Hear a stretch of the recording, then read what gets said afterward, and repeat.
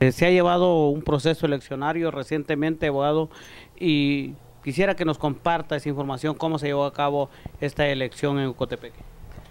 Bueno, buenos días. Eh, efectivamente, el día 10 de, marzo, pues se celebraron las elecciones generales de lo que es eh, el Colegio de Abogados de Honduras.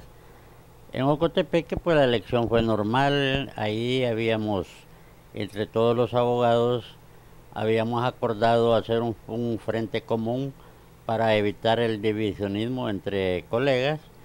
Aún así apareció otra planilla, pero el Frente Patria y Justicia, que le encabezaba el abogado Roy Urtecho, pues obtuvo al final un triunfo rotundo, eh, habiendo quedado la abogada Penman como presidenta del capítulo de Ocotepeque. ¿Cuántos son los abogados que participan en esta elección en Ocotepeque, abogado?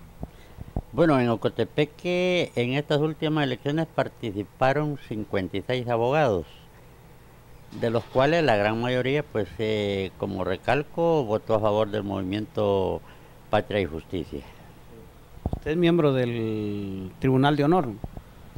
No, yo formo, yo soy el fiscal de la nueva junta directiva del Colegio de Abogados del departamento de Ocotepeque y en esa línea hemos estado trabajando, o sea que nosotros en el, en el mes de abril, precisamente el día dedicado a los abogados, ese día tomamos posición ya de lo que es la nueva, la nueva dirección del Colegio de Abogados.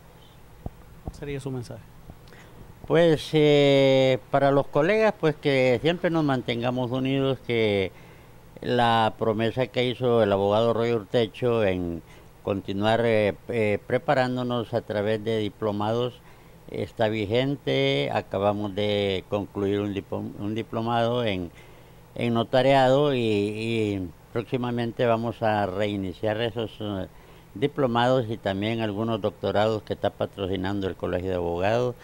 Consecuentemente, pues a los colegas que nos mantengamos siempre firmes y apoyando al, a nuestro presidente a nivel nacional.